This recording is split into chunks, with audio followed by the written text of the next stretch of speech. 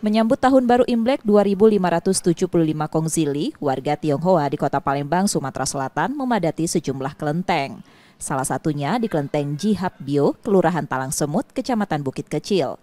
Warga Tionghoa umumnya datang bersama keluarga. Mereka silih berganti bersembahyang dan berdoa. Kelenteng Jihab Bio merupakan salah satu tujuan warga Tionghoa di Palembang untuk berdoa.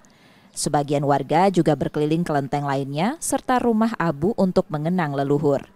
Suasana Imlek juga jadi momen menjalin silaturahmi ke rumah kerabat.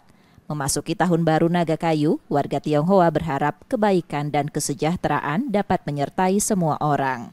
Sama satu keluarga, suami, anak-anak semuanya kumpul pas hari Sincia ini.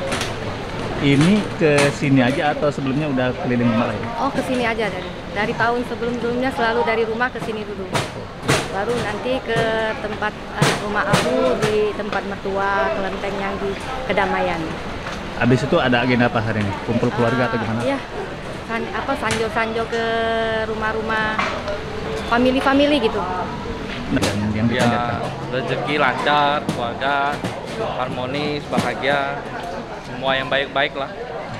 Harapan Ko Akam di tahun Naga Kayu nih apa nih? Eh, makin ya makin sukses makin semuanya yang baik-baik pokoknya.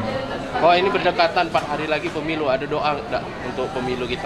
Eh, siapa pun yang terpilih ya bisa mensejahterakan semua rakyat lah Imlek tahun ini berlangsung jelang pemilu. Masyarakat Tionghoa juga berharap pemilu tahun ini berlangsung damai dan menghasilkan pemimpin yang mengayomi rakyat. Emris Kirormizan, Kompas TV, Palembang, Sumatera Selatan.